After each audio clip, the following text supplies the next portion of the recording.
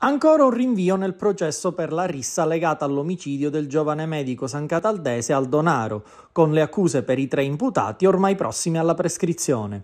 Una situazione che ha spinto i familiari dello sfortunato giovane a dire basta, tanto che hanno deciso di non essere più presenti alle udienze che si svolgono davanti al giudice monocratico di Palermo.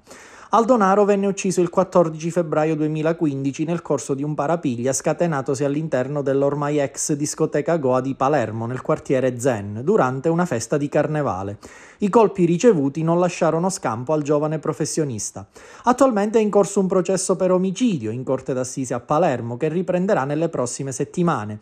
In questo caso sono imputati gli ex buttafuori del locale Francesco Troia, Antonino Basile, entrambi rispondono di rissa aggravata, e Massimo Massimo Barbaro, il proprietario dell'ormai ex discoteca, che risponde di favoreggiamento nei confronti di un minore, finora l'unico condannato per l'accusa di omicidio, in quanto non avrebbe riferito alcuni dettagli agli inquirenti, agevolandone la fuga.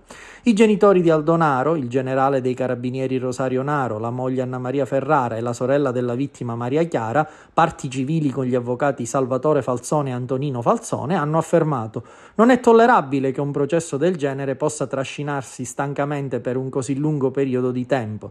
Siamo ancora in primo grado e con ogni probabilità i reati cadranno in prescrizione.